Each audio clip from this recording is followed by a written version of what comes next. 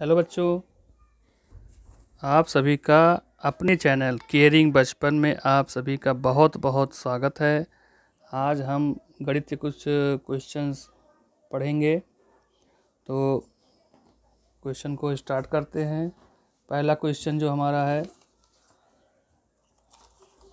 हम इसके बारे में डिस्कशन करेंगे आज कि सबसे छोटी संख्या कौन सी होती है? The which is the smallest number गिनती हम पढ़ते हैं, उसमें सबसे छोटी संख्या कौन सी होती है?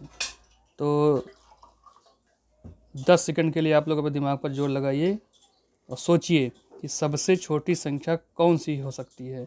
और दस सेकंड के बाद हम उसका आंसर बताते हैं। सब लोग सोचिए इसको। सबसे छोटी संख्या बताओ। जहाँ से गिनती हम स्टार्ट करते हैं, उस पर ध्यान लगाइए। तो अब हम क्वेश्चन का आंसर बताने जा रहे हैं कि सबसे छोटी संख्या कौन सी है?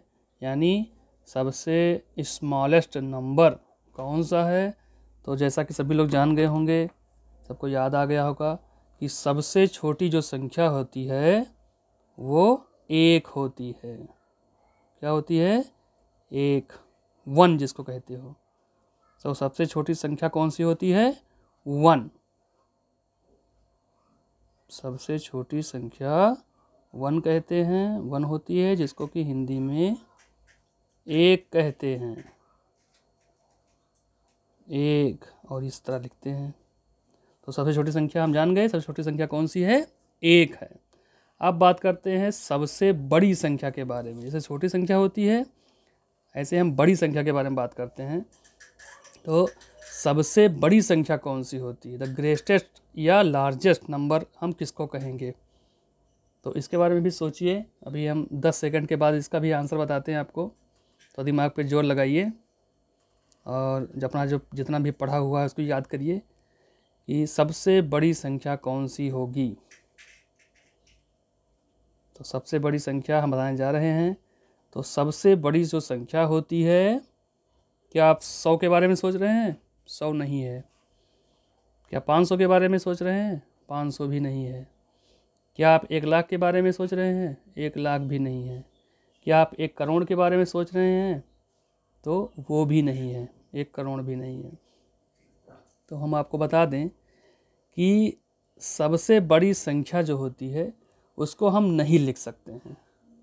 सबसे बड़ी संख्या को हम नहीं लिख सकते हैं, क्योंकि संख्या का कोई अंत नहीं है तो हम लिख नहीं सकते हैं। इसका आंसर हम क्या लिखेंगे? लिख नहीं सकते। अगर हमसे कोई कहे कि बड़ी संख्या वाला, बताइए तो सबसे बड़ी संख्या हम लिख नहीं सकते। हम जितना भी लिखेंगे, उससे आगे का वो वो संख्या हो जाएगी। जैसे मान लिया अगर हमने एक लाख लिख दिया तो एक लाख एक हो गया। एक करोड़ लिख दिया तो एक करोड़ एक हो गया। यानी जब तक हम ज़िंदगी हमारी है, जब तक हम हैं, लिखते रहें लिखते रहें, तब भी ये संख्याएँ कम नहीं पड़ेंगी और लगातार ये संख्याएँ बढ़ती रहेंगी। इसलिए सबसे बड़ी संख्या हम नहीं लिख सकते हैं। कैन नॉट राइट हम वो संख्या बिल्कुल नहीं लिख सकते। तो इसका आंसर होगा, ये संख्या हम नहीं लिख सकते। ठीक है? क्या इसके बारे में आप जानते थे? चलिए क्वेश्चन नंबर थ्री के बारे में बात करते हैं। क्वेश्चन नंबर थ्री कह रहा है कि एक लाख में कितने शून्य होते हैं?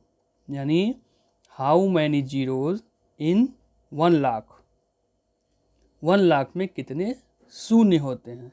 तो सबसे पहले इसको करने के लिए हम क्या करेंगे? एक लाख पहले लिखेंगे।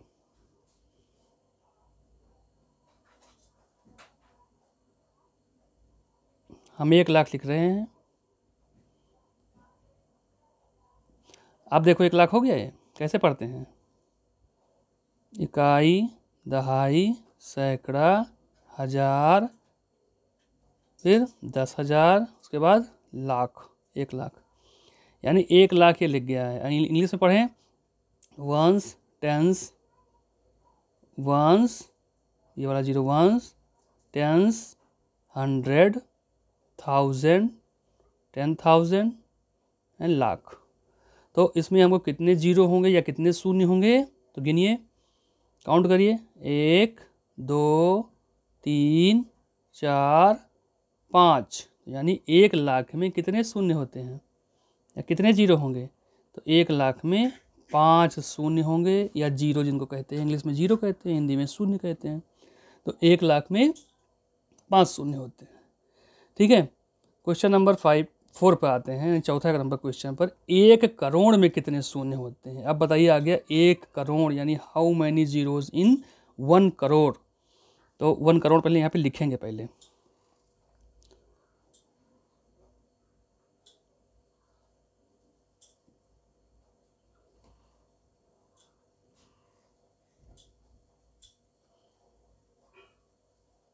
अब इसके लिए हमने जिसको लिख दिया तो हम कहे जानेंगे सही है तो इसको पढ़ते हैं हम।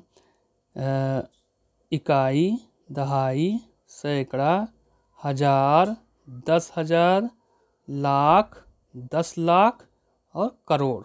यानी वन करोड़, यानी एक करोड़ हो गया ये। इंग्लिश में पढ़ें तो ones tens hundred thousand ten thousand lakh ten lakh and crore. ठीक है? तो इस तरीके से हम पढ़ेंगे। तो इसमें कितना शून्य तो जी, ज़ीरो गिनिए एक दो तीन चार पाँच छ सात। कितने हो गए? सात।